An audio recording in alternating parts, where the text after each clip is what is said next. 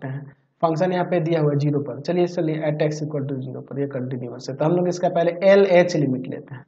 Limit x tends to zero power में minus और function f x limit x tends to zero power में minus और function zero से less than के लिए क्या होगा? ज़ीरो से लेस देन के लिए हो जाएगा के इंटू में एक्स स्क्वायर माइनस का टू एक्स आ जाएगा के इंटू में ज़ीरो का स्क्वायर माइनस टू इंटू में ज़ीरो यानी आ जाएगा यहाँ पर, ये आपका क्या हो जाएगा? ज़ीरो अच्छा आर एच लिमिट देखते हैं।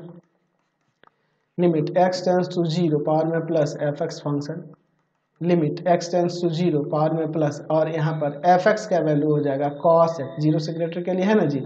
यहाँ आ जाएगा कॉस ज़ीरो और कॉस ज़ीरो का वैल्यू बन जाते हैं।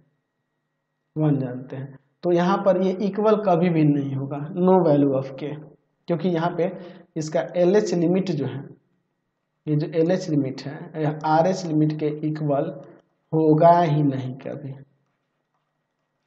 है ना? कभी नहीं होगा। के के किसी वैल्यू के लिए तो यहाँ पे लिख सकते हैं कि नो वैल्यू ऑफ़ के क्योंकि ये के इसमें गायब ही हो जा रहा है, इसमें के गायब ही हो जा रहा है।